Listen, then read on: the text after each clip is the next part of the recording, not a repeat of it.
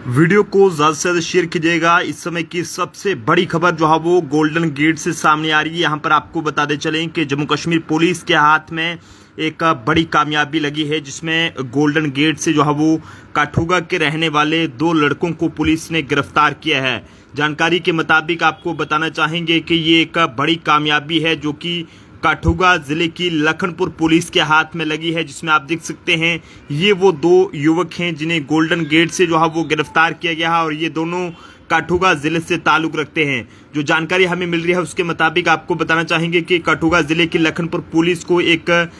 गुप्त जानकारी मिली थी, जिसमें बताया गया था कि दो युवक जो है वो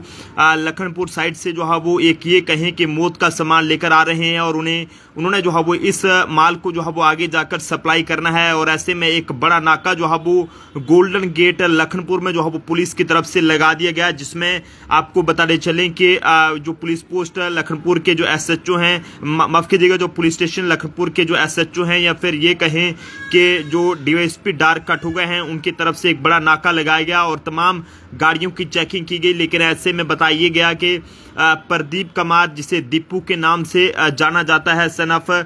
सुरदर्शन कुमार इसका नाम है और इसी के साथ साथ आरोप बार नंबर 16 शिवानगर कठुगा के रहने वाला है। और वहीं दूसरे की पहचान अखिलेश बलोत्रा, जिसे बैनी के नाम से जाना जाता है सनफ आशुतोष शर्मा, आरोप वार्ड नंबर तीन कृष्णनगर, काठुका का रहने वाला है और ऐसे में इन दोनों की जब तलाशी ली गई है तो जनाब इनके पास से लगभग ये कहें कि चार लाख से ज़्यादा की करीब जो हीरोइन है, वो इनसे बरामद की गई है। काफ़ी हैरानगी की बात है कि आखिरकार इन दोनों के पास ये सैंतालीस पॉइंट चौतीस ग्राम की करीब मौत का सामान कहाँ से आया और जिसे देखकर पुलिस भी फ़िलहाल हैरान रह गई है और पुलिस मामले की जाँच करने में लगी हुई है, लेकिन तस्वीरें जो है वो हम आपको दिखाने की कोशिश कर रहे हैं, जो कि कठुगा के लखनपुर से सामने आई है। यहाँ पर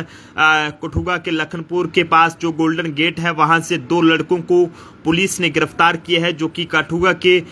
शिवानगर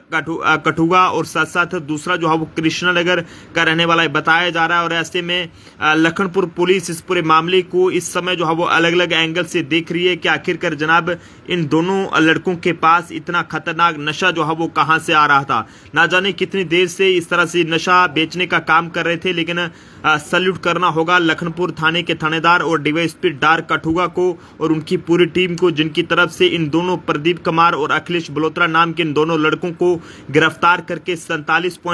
ग्राम के करीब जो हीरोइन है, जिसकी कीमत चार लाख से भी ज़्यादा बताई जा रही है। वो जो है, वो पुलिस ने बरामद किया है और इन दोनों को गिरफ़्तार करके एफ़ नंबर सत्तर अवलिक दो हज़ार चौबीस, अंडर सेक्शन आठ अवलिक इक्कीस, अवलिक बाईस, अवलिक उनतीस एनडीपीएस एक्ट के तहत मामला जो है, वो पुलिस स्टेशन लखनपुर में दर्ज कर लिया गया है और पुलिस पता लगाने की कोशिश कर रही है कि आखिरकार इन दोनों के पास ये इतना खतरनाक नशा जो है वो कहाँ से आ रहा था? तो आप लोग भी ज़रूर बताएँ कमेंट बॉक्स में कठुगा की किसी भी कोने से ताल्लुक रखते हैं तो ज़रूर इस वीडियो को शेयर करें और साथ साथ बताएँ कि आप इन दोनों को जानते हैं या फिर जो है वो नहीं जानते हैं। वो ज़रूर बताएँ कि आखिरकार ऐसे लोगों के खिलाफ किस तरह की कार्रवाई होनी चाहिए जो कि चंद पैसे कमाने के चक्कर में नौजवानों को जो है वो बर्बाद करने का काम करते हैं और इस तरह के खतरनाक नशे में लुबाने का काम करते हैं। देखते रहे जम्मू ट्रिब्यून, जय हिंद भारत।